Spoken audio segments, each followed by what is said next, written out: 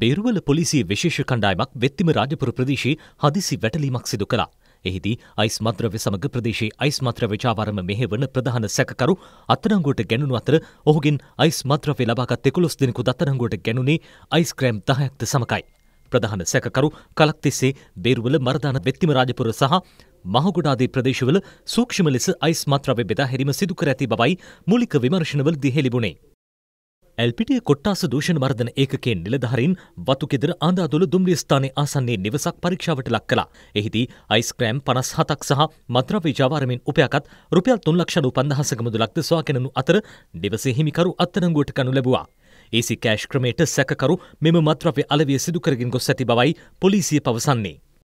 මෙතර විදේශ රටක නිෂ්පාදිත බෝර දොළහේ ගිනියවයක් කිසියම් අපරාධයකට යොදා ගැනීමට සූදානමින් ත්‍රීරෝධ රථයකින් ගමන් කරමින් සිටි පුද්ගලයන් දෙදෙනෙකු ගල්හා නිල්ලඹ වේල් අසල මාර්ගයේදී අත්අඩංගුවට කැණුණා. මොවුන් දෙදෙනා කොළඹිස්ස හා දෙල්තොට පදිංචිකරුවන් බවයි පොලිස් විශේෂකාර්ය බලකාය සඳහන් කළේ.